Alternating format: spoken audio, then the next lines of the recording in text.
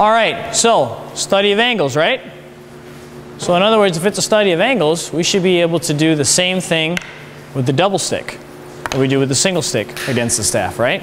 Still the box sumbrada. Mark's just like, oh no. you got to get a shot of that. It's just, poor Mark. Poor, poor Mark. Such a trooper. He's still hanging in there.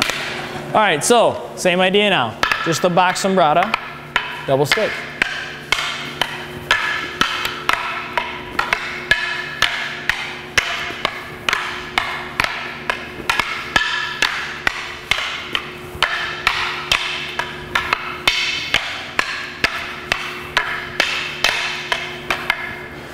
So for those of you that don't know, if you watch my, my left hand, okay, it's doing the same thing it would do as a checking hand, right? Normally, be this, right?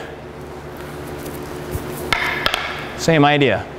Okay, all the, all the check hands are the same. So, and check. Block and check.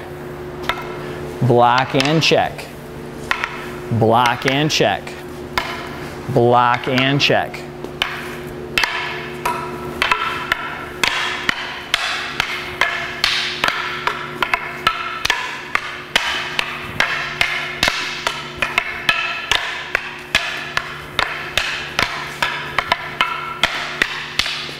How fast can you go to the staff? I don't know if I can stop it. Anyways, so that's an example of how speed absolutely ruins good technique.